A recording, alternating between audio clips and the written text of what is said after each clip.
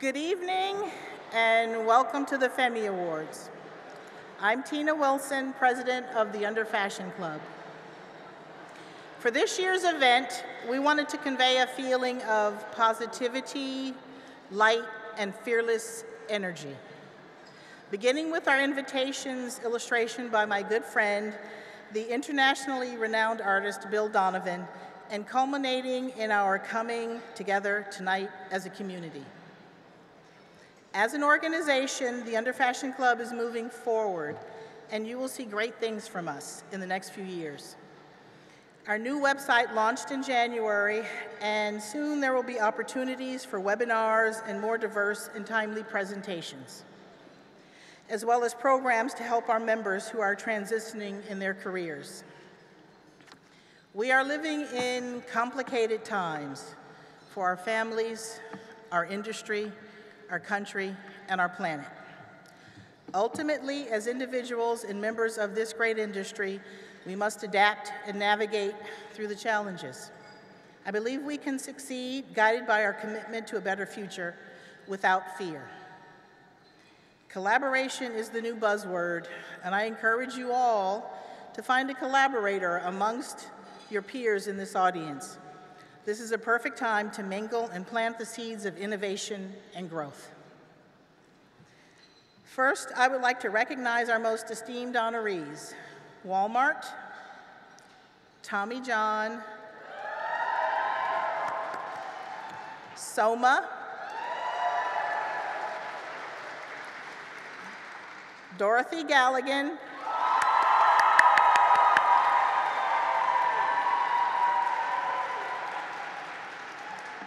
and Bob Vitale.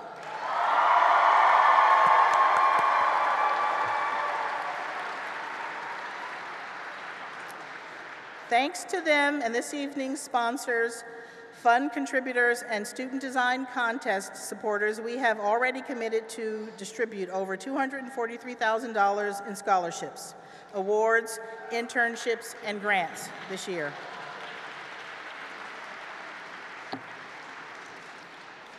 I would also like to thank Soma for donating the special fragrance on each of your place settings as a memento of this evening. And don't forget, tonight you are welcome to take home the floral and fruit centerpieces on each table.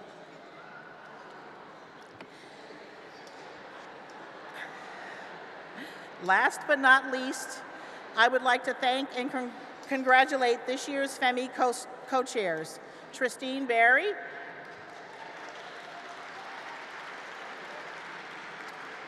Sonia Winther, and the committee members, most notably Rosa Chamides, Christina De Jesus, and Linda Elton.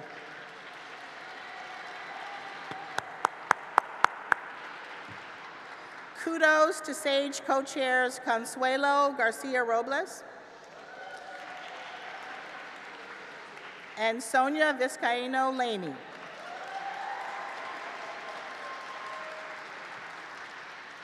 And the entire SAGE committee for their exceptional efforts in connection with the Student Design Contest. And to Karen Koopman, our administrator for all she does. She keeps us all sane.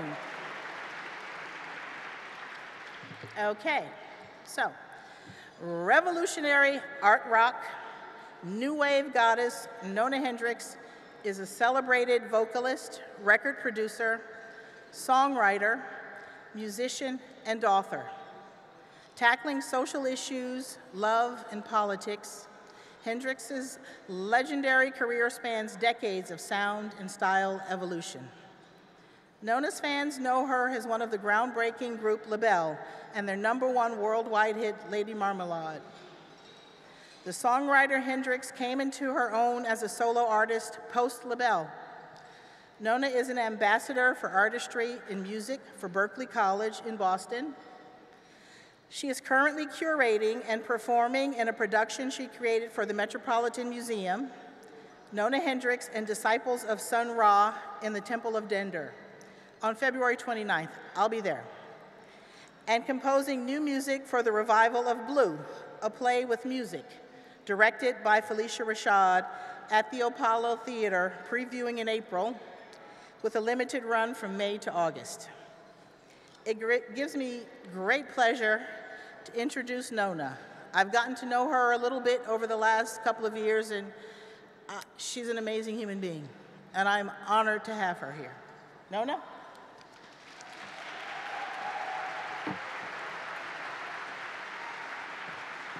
That's for you. I didn't touch it.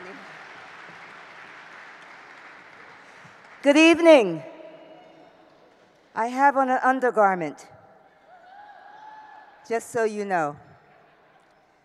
Uh, this is amazing. Thank you so much for uh, inviting me, for having Tina invite me to be your host or one of your hosts for the evening. And I'm going to try and speak very clearly because I can hear that the room is quite boomy. And I want to make sure that we get everyone's names, everyone's awards, all of their information out to you and correct. I'd like to thank my friends who've come tonight and my very special, who's sitting at the table with Tina. We have Joanne Chase, who is a very special friend of mine, worked with the Obama administration. Uh, yes, indeed. and we also have Irene Gandy. Uh, we call her Miss Broadway. She is one of the most successful, most famous uh, PR people with Jeffrey Richards. And then the uh, most amazing kind of person I've known for a long time, and she, like I, used to wear undergarments on top of our clothes when we performed on stage, Cyndi Lauper.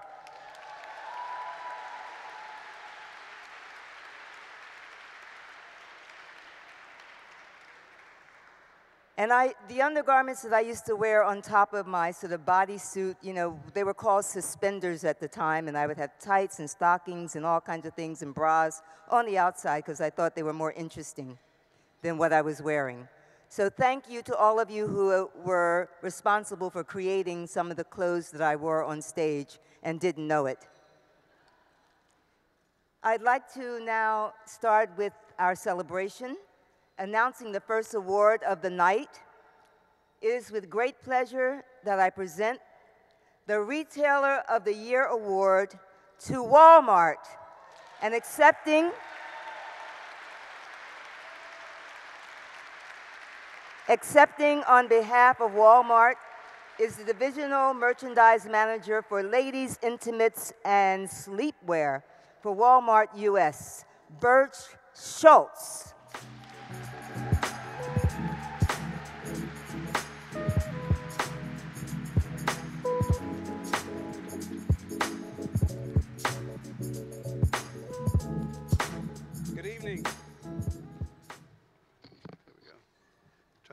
Good evening. I'm honored to be here tonight and grateful to accept this award on behalf of Walmart. I would first like to thank the Under Fashion Club. We are honored to be recognized by such a great organization and appreciate everything they do to support the intimates industry and its future leaders. I'm especially grateful to all of our supplier partners, many of which are here in attendance tonight Thank you. We would obviously not be able to deliver great products and serve our customers without you. I would like to thank Bare Necessities and the Walmart e-commerce team for their partnership and alignment in moving the business forward. Thank you to my manager, Deanna Baker, Senior Vice President of Walmart Apparel, for your leadership and support. I would especially like to thank our buying team and the entire cross-functional Intimates team for what you do. You guys are fantastic and thank you. We have fantastic merchants and they're even better people. Also, thank you to my wife, Jennifer, who is in attendance tonight. Thank you, Jen, for all your support. And I am very proud of the work that we are doing as it, as it pertains to social responsibility. We are ahead of our corporate goals on sustainability efforts as it pertains to utilizing recycled fabrics, and using 100% sustainable cotton. We have made, thank you.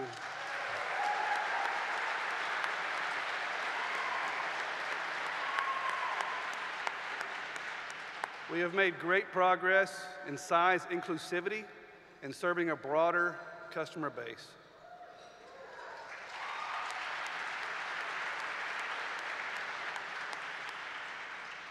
Responsible sourcing is at the core of the product development and is so incredibly important to us.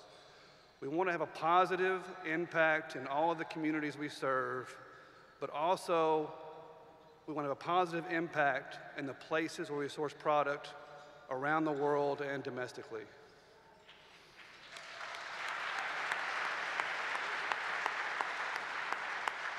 Thank you. And then finally, I'm proud, very proud, of providing access and availability.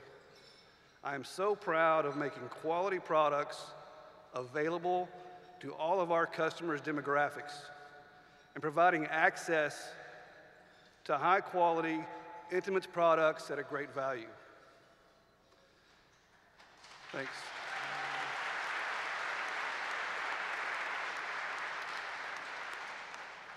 It was our founder's mission, and the Intimates team at Walmart is laser focused on this mission. In closing, I would like to leave you with a quote from our founder, Sam Walton. This quote came to the end of his life when he received the Presidential Medal of Freedom from President George H.W. Bush in 1992. If we work together, he said, we'll lower the cost of living for everyone. We'll give the world an opportunity to see what it's like to save money and have a better life. Thanks again.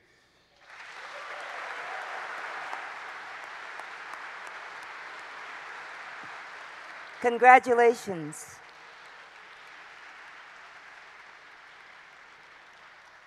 So, Cyndi, who knew about this intimate apparel thing?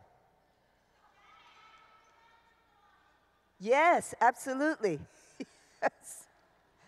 I'll get Cyndi to come up and say that herself shortly. So the next award is for Brand of the Year. Yes.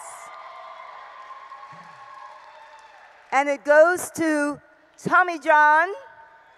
Accepting the award is Tommy John's founder, Tom Patterson, and co founder, Erin Fujimoto.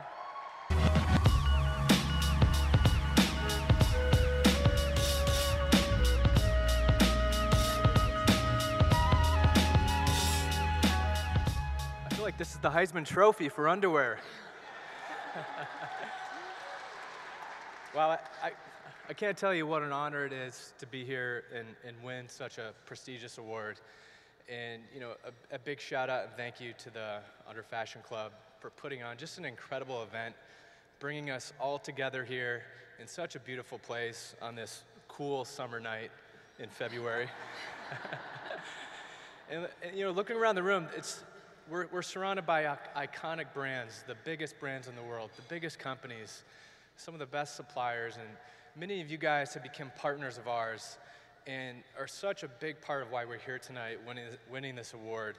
And, and few, a few of you were actually the earliest people that really believed in this vision that we had for Tommy John almost 12 years ago.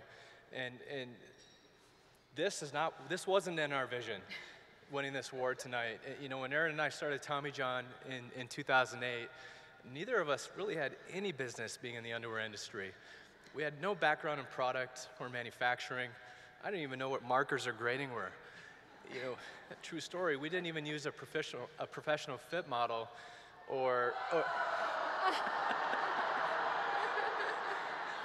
or, or, or know what a technical designer was until year three. So so we didn't know what we didn't know. I am not even sure if we still know what we're doing. Uh, but you know, during the first few years of business, you know, we were privileged to bring in a lot of really great talent. I almost had to beg people to come in. to work at Tommy John, and you know, being introduced to amazing partners like you guys who believed us, believed in us from day one. Um, we can't thank you guys enough. And I would say over the almost last 12 years, um, we've, I've, I've become equally as proud of the brand that we've built and want to thank each and every one of you, especially a big shout out to the two tables of Tommy John and some of our biggest big partners over there. Where are you guys? We wouldn't be here without all of you, so thank you very much.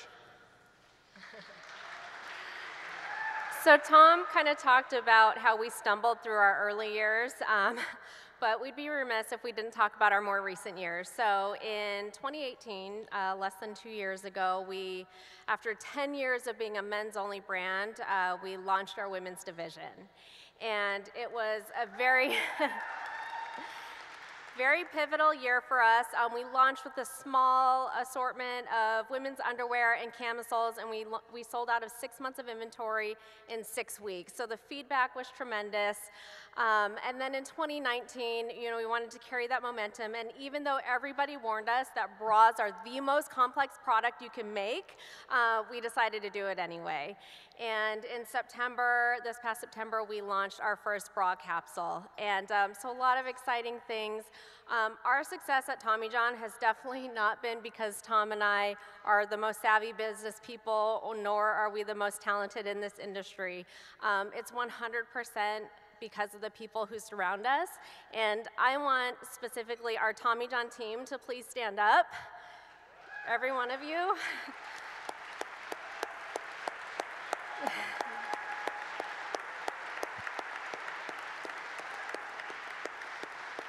This is just a small sampling of our team, but these are some of the hardest working, most dedicated um, employees and team members, and I'm honored to call them my team. Um, but thank you all for this beautiful night. Uh, the Under Fashion Club, our suppliers of factories who've supported us along the way, our Tommy John team, our partners, everybody here, thank you. We're honored and humbled.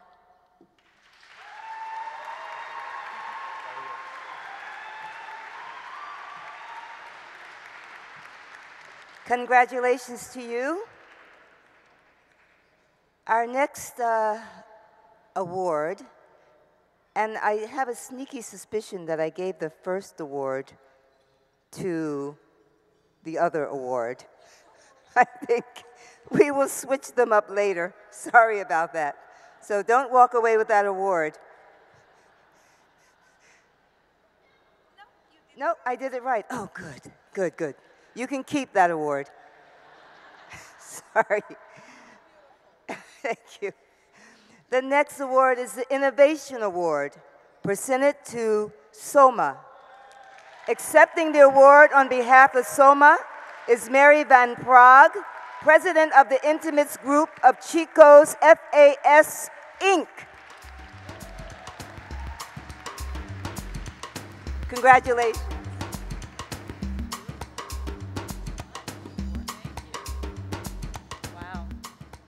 Good evening, everyone.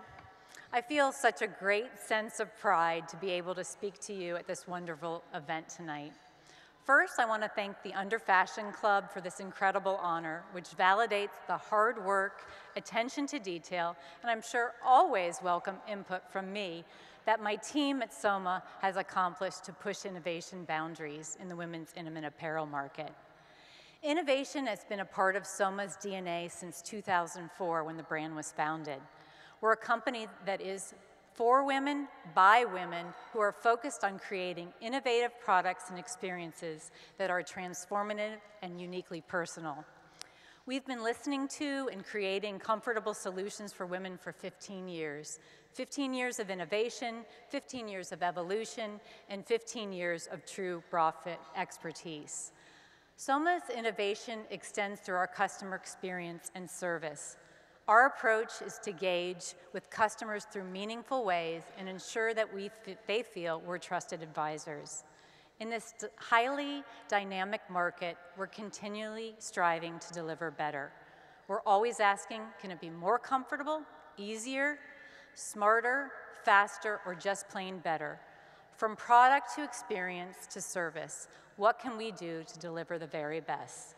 This past year, we pioneered several first of their kind innovations as part of this quest. This included the development of Soma InnoFit, the first ever smart fit bra built to measure a woman's perfect fit, even in the comfort of her own home. It's a fit bra, an app that recommends the perfect five star Soma bra. We launched at the Consumer Electronics Show as the first intimate apparel retailer to ever have a tech presence in that space. As a result, we now have over 30,000 five star reviews and a 90% bra fit satisfaction rate. We are a customer first. Thank you. We are a customer first organization and listen and react to her feedback.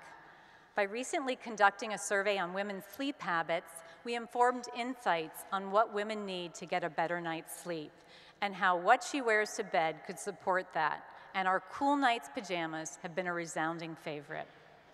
We're also creating innovative vehicles to engage women with Soma in meaningful ways, like the creation of our very own National Family PJ Day and our anniversary bra event.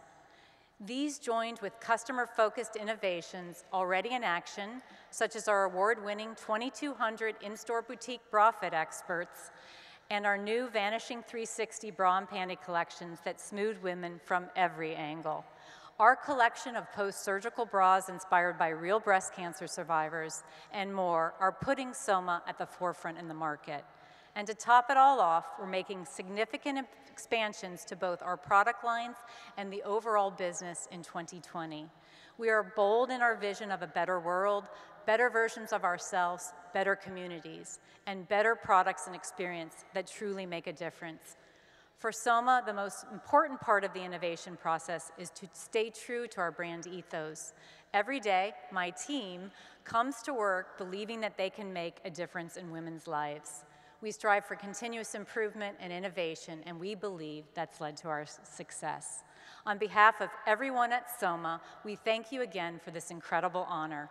We're very proud of what we have accomplished so far and can't wait for you to see what we have ahead.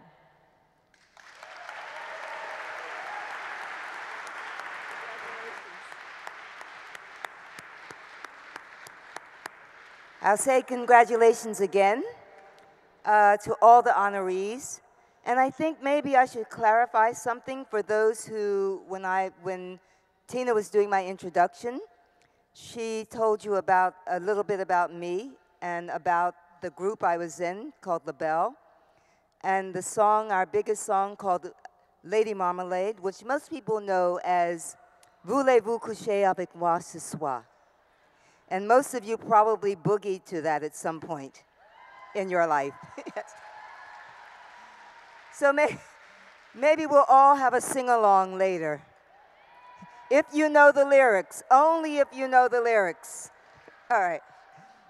So now we're going to take a break for dinner, and we will be back in 25 minutes with the Industry Icon and Lifetime Achievement Awards. Enjoy your dinner.